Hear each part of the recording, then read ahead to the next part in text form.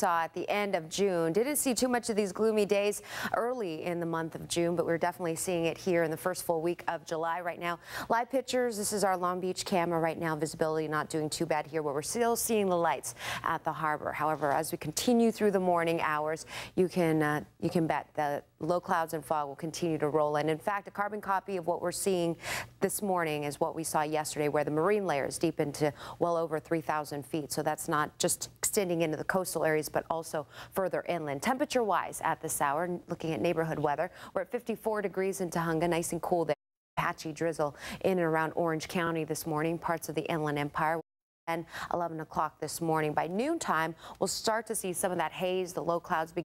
Shore flow pattern that we've been seeing will slowly start to weaken by Friday. I think by Friday afternoon, high pressure nudging closer to the west coast will help keep clouds away through much of the weekend. Just some patchy low-lying clouds instead of the widespread cloud cover we've been seeing the last couple of mornings. And as that onshore flow weakens, we are going to see some warmer temperatures. In fact, we're going to be taking up temperatures a good Things will be gradually warming up, and we are going to be promoting a little bit more of a warm up by the 80 degree mark downtown Los Angeles by Saturday. Your commute this morning, Caltrans camera giving us a shot here northbound side of the 101 freeway to not looking bad either as we take a look at the maps and show you some problem spots this morning. Still have this crash on the 5 northbound freeway right before the 60 and you can see right now not indicating any slowing here the crash on the right shoulder so shouldn't tie you up too much.